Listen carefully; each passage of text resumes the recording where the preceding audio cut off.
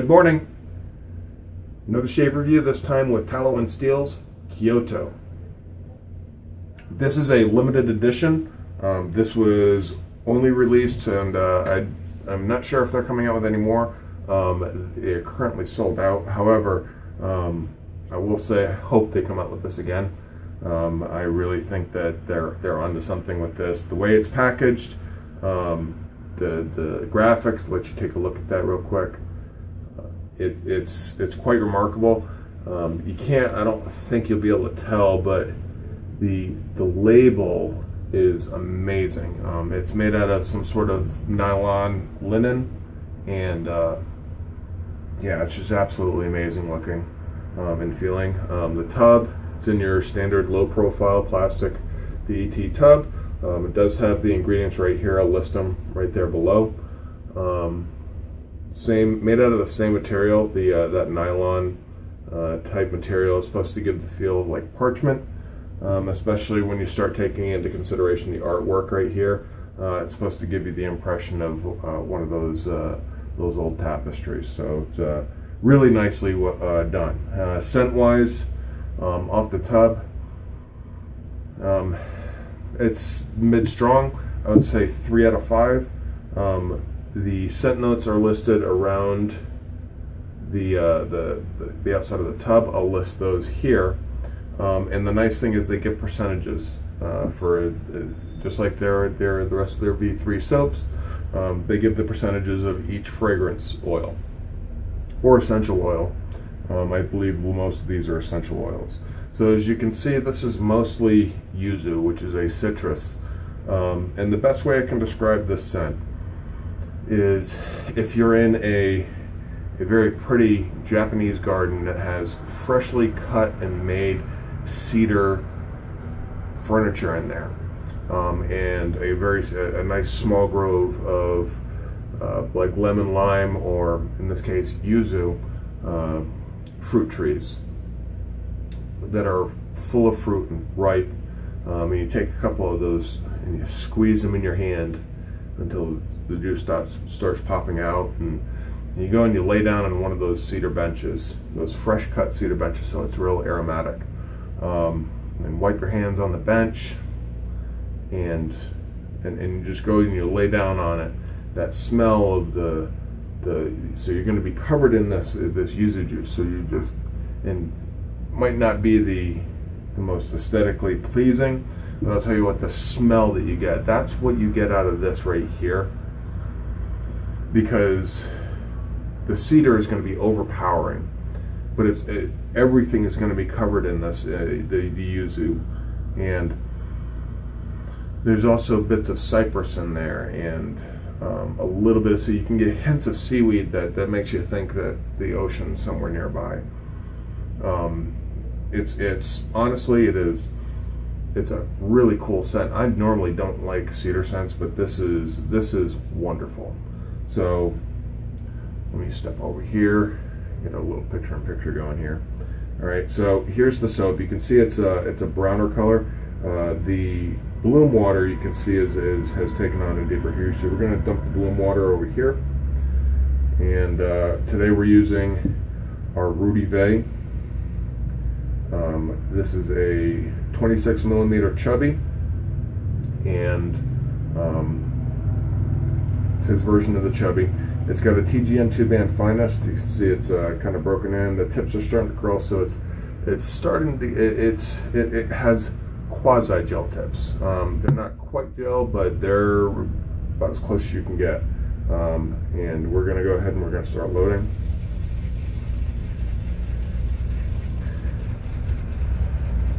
and immediately uh, it, it's it's building matter lather immediately. Um, last time I loaded for 30 seconds, I'm and it was almost too much. Um, I'm gonna load for about 20 seconds, so we're about now. And you can see I got just a plethora of proto lather. So, so you guys can see that.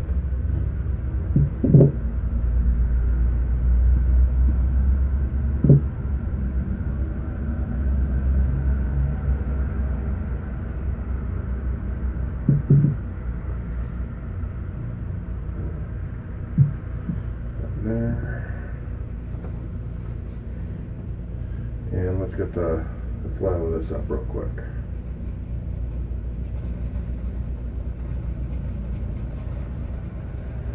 How we doing on time here? So my videos have been getting a little bit on the long side. Um, part of it is the picture-in-picture because I'm showing you the lathering process. Um, I think it's beneficial to show you the lathering process and show you how show you how each one of these soaps react. Um, plus, each video can be a mini bowl lathering tutorial. So I might work the soap a lot more than others, uh, but it's just I do me. There's quite a bit of water in there, so 20 second load, I might not need to go too much um, into the lathering. Let's push a little water or air in there. Let's just incorporate everything in. Again, these these whipping motions right here, um, it does incorporate it, the air the air that's already in the lather. Um, it just breaks it down into smaller uh, bubbles.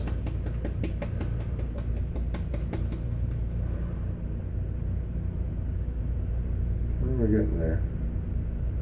We're almost there. Let me get another uh, squirt and a half. Gentle swirls. Put some air in there. Down into the middle. Do some whipping motions and we should be done.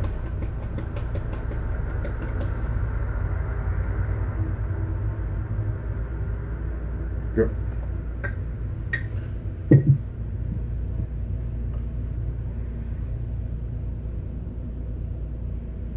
Look at that. That's insane. The elasticity on on the leather to be able to just hang there like that is crazy. Um,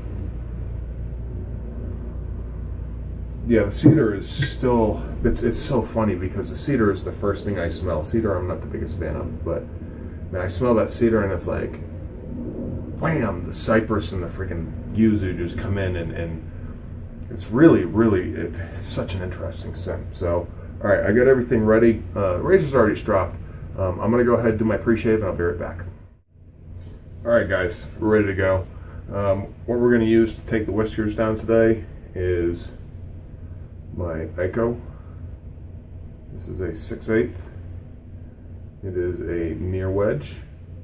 I guess you could call it even a quarter wedge, but um, it's it's close to being a full wedge, but this is a Japanese razor, so uh, it's jumping rotation a little bit, but because it's a Japanese razor, I figured since I'm using a soap called Kyoto, why why not?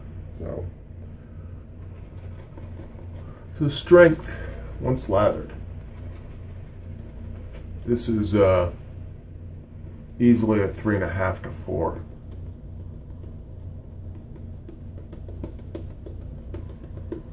Once you get it lathered, the cedar never really goes away. But man, that yuzu is just, oh, it smells so flipping good. You know, it really starts to assert itself. No, it's just like I took that yuzu fruit and stuffed it up my nose, which if you don't know what yuzu smells like, it's a it's a bitter like a lime cross between a lime and a lemon. Um,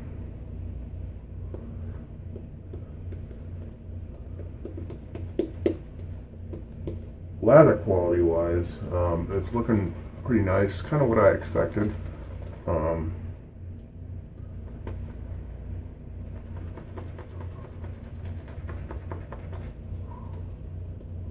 there we go.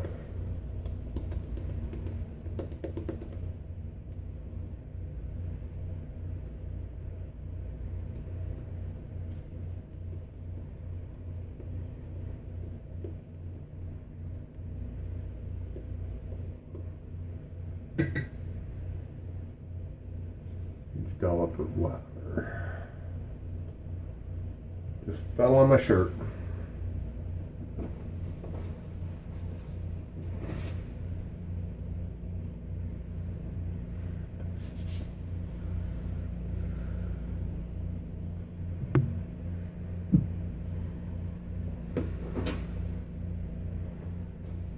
Okay, I think we're ready.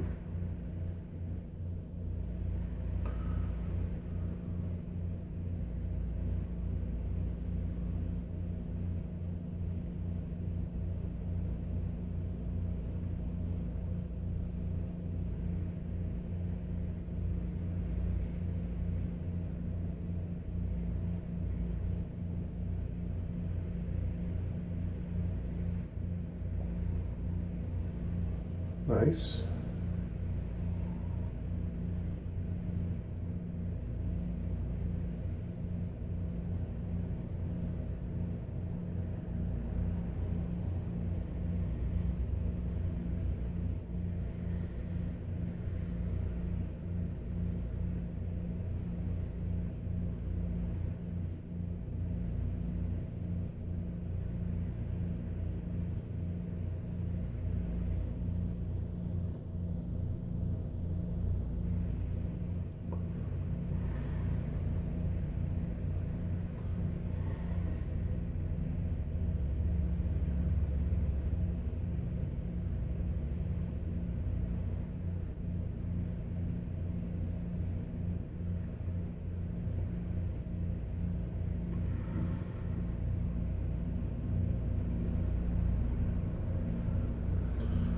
So, let me get this mouth around the mouth area.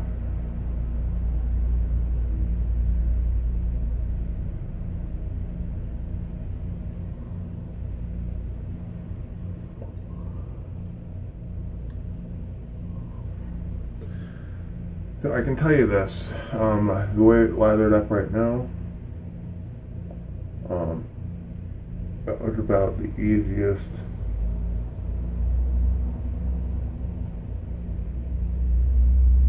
soap for any modern artisan. Um, I think the only soap I've had that lathers up any easier than that is Martin de Candre, which one of those soaps where you just kind of look at it and it all of a sudden you have lather. The strange thing about Martin de Candre, for those who haven't used it, um, I will say that some people have an issue with it drying their skin out. Um, I don't have that issue, thankfully. But the ingredient list on Martin de Candre is a ridiculously small. I think there are six ingredients. Let's look at the uh, residual. Again, my face is, is wet but it's not dripping wet, it's just damp.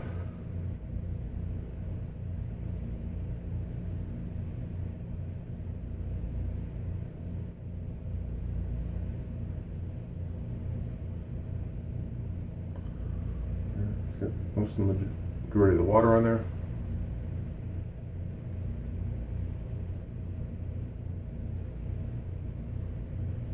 Yeah. Yeah face is mostly dry there and uh, I'm still able to go over it and I really can't feel the edge. I can feel the razor, I just can't feel the edge. Um, so it is, is it as good as the Eufros yesterday? No, but it's, it's, it's at a 9. Um, good residual slickness. So, alright guys, I'm going to go ahead I'm going to finish this, the uh, shave and the rest of the two passes and I'll be back with my final notes. Alright. Okay guys, we're back. Finish the shave, quite a good shave. So we use Tallow & Steel's Kyoto. This is a limited edition again. Um, I believe they're sold out of the soap and aftershave. I'm not positive. If you want to check it out, go to tallowandsteel.com. Um, that is the only place to get this. You cannot get this at wholesalers. As a matter of fact, Tallow & Steel is moving away from using the retail uh, model and wants to, from what I remember, they want to move directly through their site. So um, if you're interested in getting any of the their their products, uh, visit uh, tallowandsteel.com. Um, overall, um, better performance than I got with Sicily. Um, and that's not because the soap base is different. It's not because of anything else, other than the fact that um, I'm learning the soap more. Um, so the lathering before it was a 9. Um, I gave it a 9.5 this time. It was slightly easier to lather. I got it there quickly.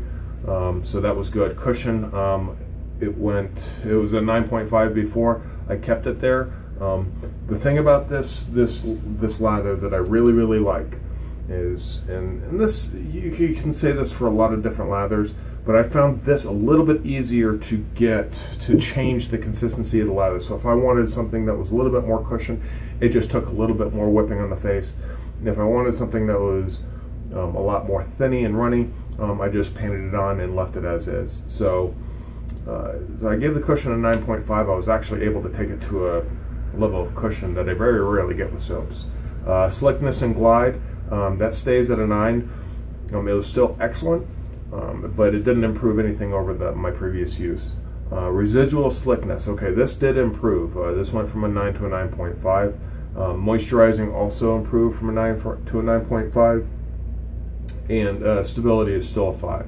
So all said and done, um, it, it, it, actually improved by about a point and a half. Uh, so it's sitting at a 52 right now, which still places it below soaps such as Wholly Kaw Donkey Milk uh, and Hops Extract, uh, the Ariana and Evans Declaration Grooming Bison Tallow, um, etc. Um, that puts it, I would say, uh, just short of an elite soap. Uh, and, and when I say just short, um, it's not maxing out any of the categories. Um, honestly, in my opinion, if you if if you're going to be an elite soap, you really need to max out um, at least two of these six categories. Um, if you can do that, yeah. I, but it's it for me. It falls just short. Uh, the scent on this really grew on me. Um, uh, I, like I said, I'm not the huge, biggest fan of cedar, um, and that's what I got off the dry tub, and that's what I got initially when I, when I loaded. But man, when I put it on my face, that yuzu just uh, comes right to the front, and then uh, the cedar and the and the cypress and the seaweed and the the, the green tea, the sencha, really just give accents the yuzu and just it paints a really really nice picture in your head. Don't ask me what that picture was. It's just it was really really pleasant. Uh, so um, all right guys. Um, I'm, I'm pretty much done here. So yeah. This is uh, so to put it into Chad's box this is a tier one box two. So just short of that uh, elite box one uh, category. So this is tier one box two stuff Great, great soap. Um, if you can get your hands on it, like I said, they just came out with three soaps. Um, so this one, which was the limited edition, and I believe Sicily and Madagascar are full-time releases. Um, check them out, tallow-and-steel.com. If you haven't come by and checked us out at the Shaving Cadre, come by and do so. This is a member-driven forum. This is a lot different than all the other forums out there that are moderated, heavily moderated. We are a member-driven forum. We don't have any moderators. Enjoy the discussions right? Partake in the the video forums, partake in the bingo, which is starting up in uh, starts up tomorrow. Tomorrow. So come on by, check us out, www.theshavingcadre.com. See you there. Peace, guys.